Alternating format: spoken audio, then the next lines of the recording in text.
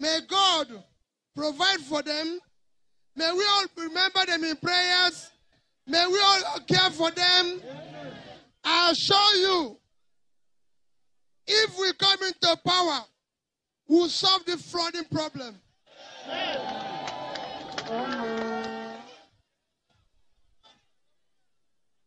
We are not going to do it overnight, but we'll start solving it. It, can, it will not take 30 years. We had one government said it will take 30 years. We will not take 30 years for us to solve it. We will support youth. Because today, Nigerian youth don't have a hope. When we come into government, the youth will have hope. Because we'll solve their problem. In Nasarawa today, there's no electricity. There's no electricity. You can get electricity. I assure you that if government of Peter Obian that he comes in into government, we will stop solving Nigeria electricity problem.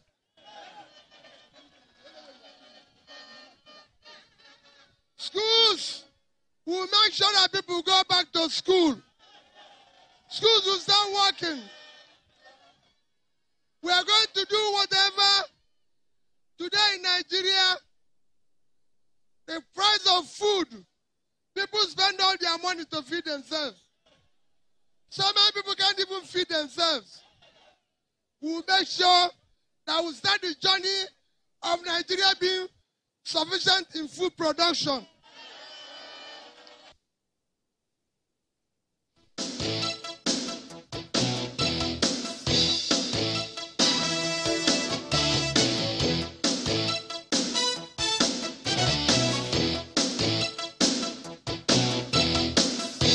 Right, welcome back to Mr. Katrin on the just you've seen there is the special advisor to Peter Obi on public affairs for the Labour Party. He joins us next. Good morning and thank you for coming on today. Thank you very much for, as usual, having me. Well, just to be sure, does this effectively pay to your membership of the PDP? Well, I cannot. Uh, what I would simply tell you is, in my calculations and what it's been, the PDP and the Labour Party seems to be like the butterfly and the caterpillar. Two of them said by the same egg, one must die for the other one to exist. So this is the natural progression. The PDP was the original table on which Nigeria did handle its transition from dictatorship to democracy. Now that table, as at now, four of its legs are not in one place. Kwankwaso took one leg of the table, Peter Obi took another leg of the table. Governor Wike and others with him took another leg of the table. So the only leg standing looks like what the Northerners will call Dangurugu. So whenever I go, people look at me and say, Yan Dangurugu, Kazo, the man of uh, the one legged man, have you come? I feel ashamed. And I know I do not want to remain to play the undertaker. I needed to move, and I watched, and I saw where the youth were moving to, and I saw where the majority of those you refer to as the Jonathanians in the PDP were moving to, and I simply had to think for the sake of my children and the future of the country. Since I believe this is where everybody in the PDP may finally come to, now that the agendaist who returned from the APC came back with the same mindset of nepotism have seemed to have captured our party. You simply need to understand when the things have changed. So we've moved. But this is not the dominant narrative that we get from several other members because the PDP they, of course, they have a presidential candidate. They are rolling on with their campaign. Their candidate was in the States and they are back. They say they are raring to go, contrary to what you're saying now. Yes. People could pretentiously tell you, no, no, no, it's not true. I'm not moving. But it's not true. I used to be 20 years old. Today, I am a senior citizen. I can't pretend yesterday is still with me. It's gone. If they could not stop Kwankwaso moving. As I speak to you, when Buhari leaves, the Hausas will not see any figure to follow. Kwankwaso plays that pathfinder. So the Labour Party was just... The Labour Party is a new staging ground for all of us who intend to sustain the progress towards nation building.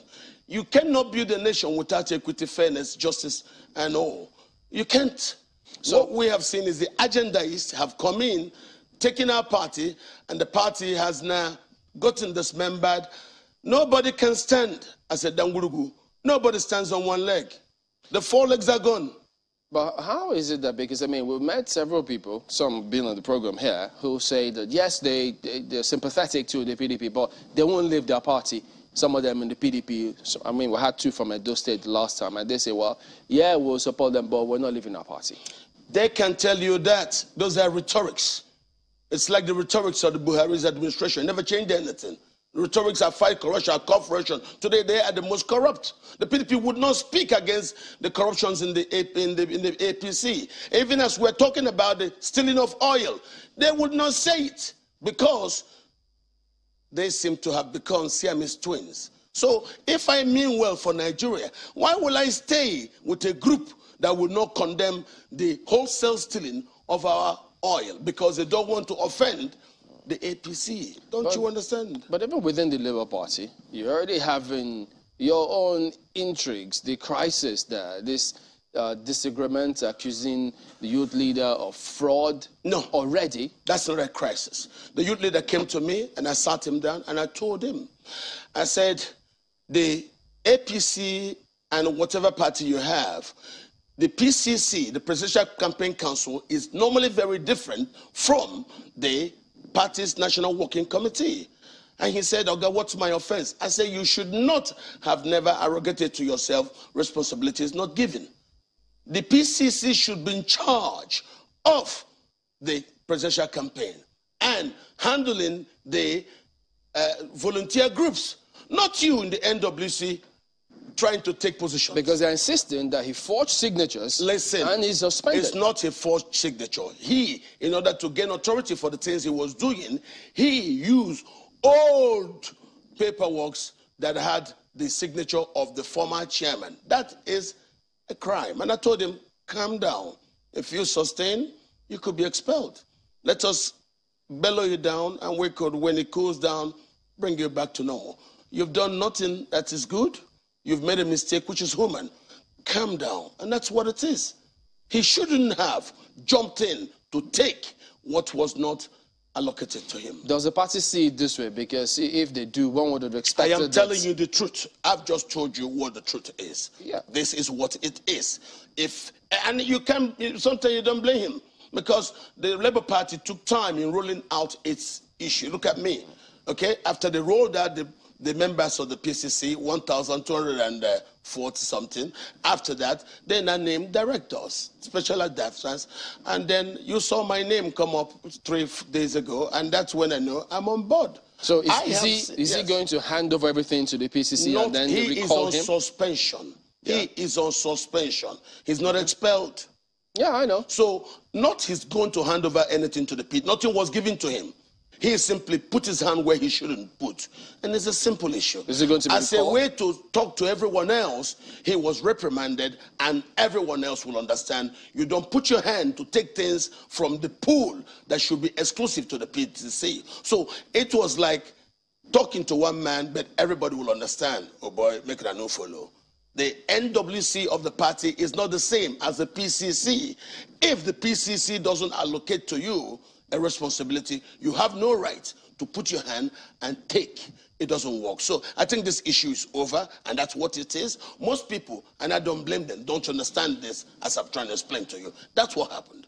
But, yeah. It's a really tricky one because I, I, see that even within the PDP, uh, beg your pardon, the APC, uh, that has also caused some furore. They've had to calm things down before the eventual. I think it moved the inauguration date, the yeah. inauguration date for the Presidential Campaign Council to reconcile the difference between the members of the National Working Committee who wanted to be able to lead mm -hmm. uh, within the PCC and then also members of the PCC as selected. Uh, I think they've been able to get past that now and they've started their campaigns. But you know, some people will say that this is the early days. Uh, you, and you are no, uh, you're not a neophyte in politics. You know how 24 hours is a long time in politics. And the elections are not until February next year. So you still have the whole of November, December, and the whole of January uh, to see where things will really, really settle. Some people will say the PDP looks like it's having, you know, really big troubles right now. But who's to say that, you know, it cannot solve all of these matters within a month? We run a representative democracy. I represent the interests of the geography from where I hail. If I don't come there and the people from there do not agree, nobody can go there. So if we, like we had the Southern Caucus, make demand for inclusion, you don't include us, and we decide that as a whole we will pull out, we will pull out. If some snitches go behind and say, look, my people are demanding for uh, the one leg, one hand, and the head of the cow, don't worry. You know, just give me the cow tail. That's enough for me. You're asking for what you want to eat. It doesn't represent the position of the caucus. So that's been the problem you've seen. It's not going to work.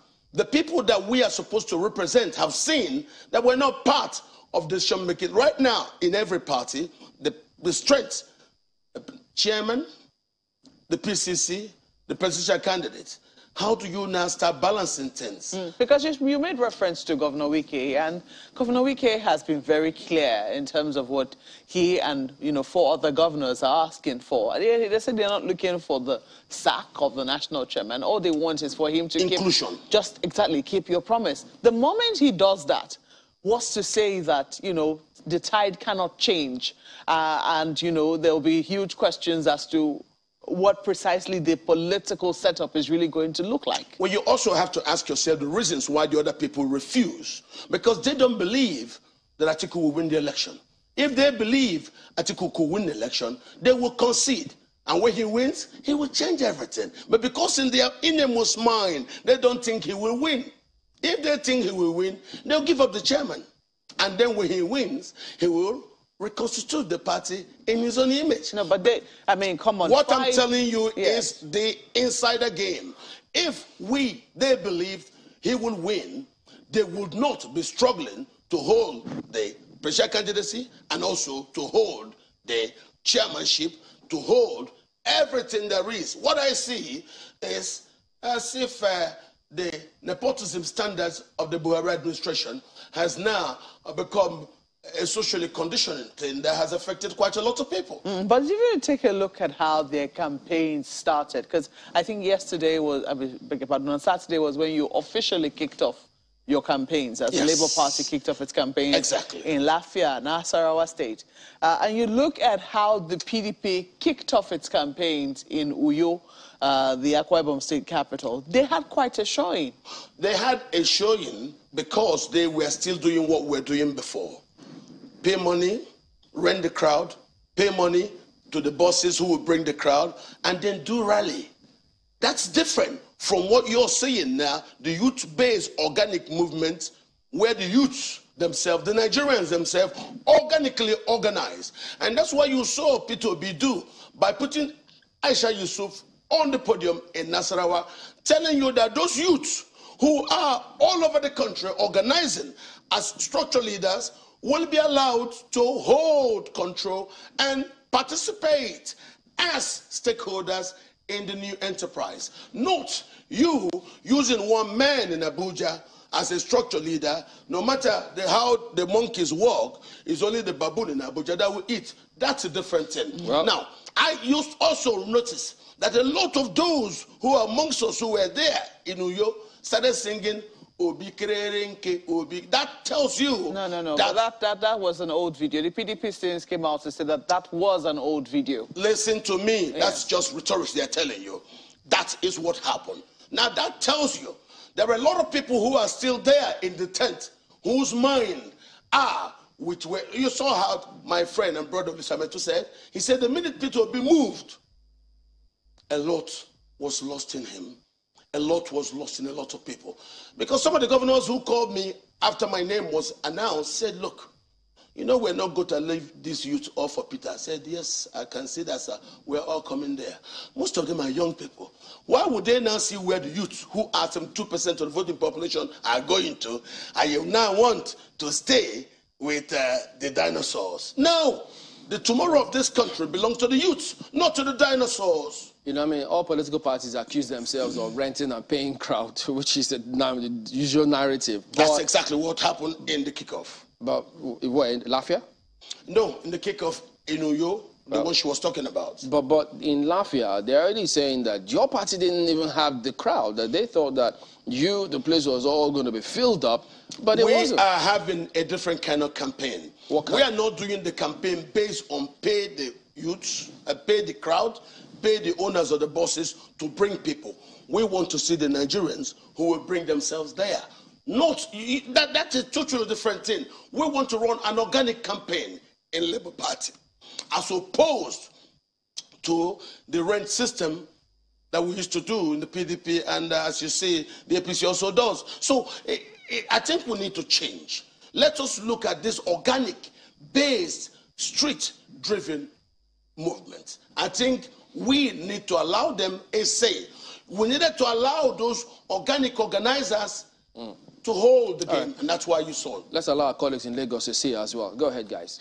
All right, thank you, Chamberlain. Uh, let me just um, piggyback on, on that point, really, because I haven't described the Labour Party loosely as one of the legs of the PDP, uh, as it were. And you're saying that some others have taken the legs and the current PDP is standing on just one leg. It then dovetails to the question about the support, the kind of votes you will then get. By the way, it's still not clear if you're a Labour Party member or still a PDP member. But it dovetails into that question of the kind of votes you will get because some will say that the votes have been shared really across those four legs, as you put it. So if the crowd that we saw in Uyo, for example, was anything to go by going into the elections, some will say that translates into at least those votes in the bag, except you are saying that the same way you say the party used to pay for crowds, it also used to pay for the votes as well. So if we didn't see as much showing of crowd in Nasarawa, some will say that implies that we might not see as much showing of votes in the election. Well, we have moved on. We believe there is a lot of voters right there on the Nigerian street. And uh, the Labour Party is simply uh, moving with the Nigerian street as you can see, the movement on the streets is not being driven by P2B or no, it is an organic movement driven by the Nigerian youth. And that's what it is. So we can't go back to the old ways of doing things. We seek to take advantage of this organic revolution, of this organic movement, of this new yearning by the people and work with them. I agree that up to 85% of the PDP in the historical voting bloc are now following Labour.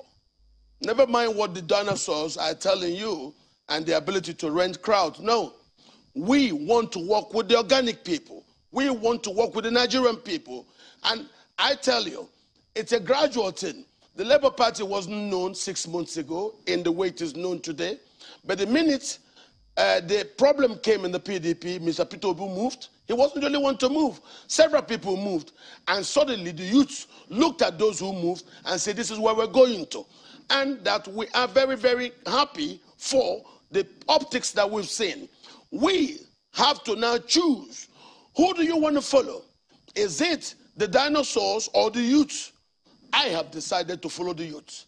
I have decided to be the same way the youths have now employed Mr. Peter Obi for him to provide a face for their masquerade. I think that's where everybody wants to be. No parent today will want to be talking about his grandfather that he's buried eh, when he has younger children to look after.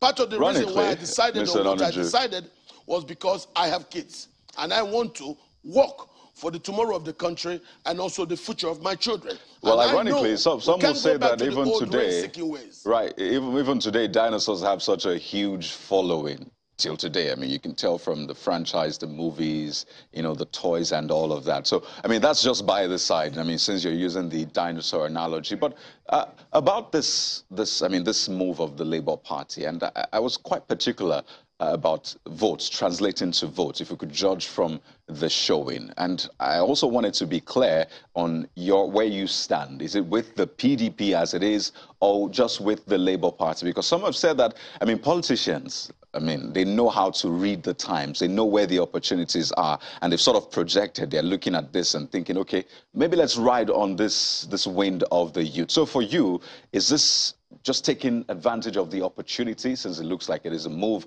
and something might come out of it? Or is it out of genuine interest for the nation? Because some say if everyone from PDP is moving to the Labour Party, then it might just end up as the same PDP which you're referring to as a dinosaur today. No. The PDP that we are running away from is the PDP that has now become infected with the mindset and the mind share that they saw from the APC. The new Labour Party and the yearnings of the youth is premised on an inclusive Nigeria.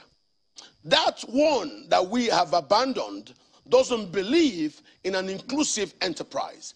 We now want to move with the youth to a Nigeria where everybody should have a sense of belonging in this enterprise of nation building. All right.